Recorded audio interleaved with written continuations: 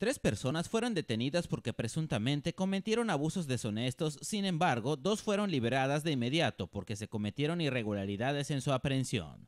Por tanto, uno de los acusados declaró en fase preparatoria en el juzgado cuarto penal, donde negó los hechos que le atribuye a la señora Lady Noemí Cantillo Trejo, de 54 años de edad. El detenido Juan Lorén Cancheva Cabrillas, de 35, negó los hechos. Siempre he respetado a esa señora, es mi vecina.